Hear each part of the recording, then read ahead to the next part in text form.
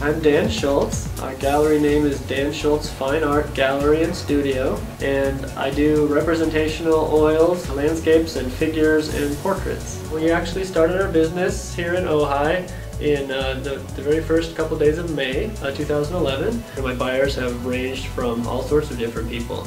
Come visit us soon.